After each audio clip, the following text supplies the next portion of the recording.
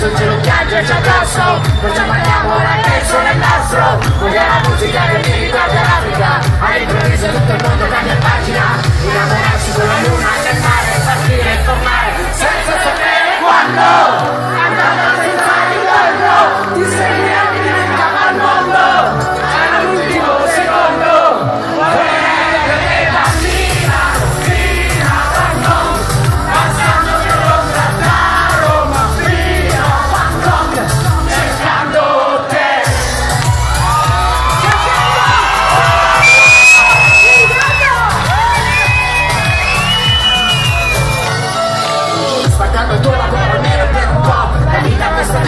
그냥 붙잡고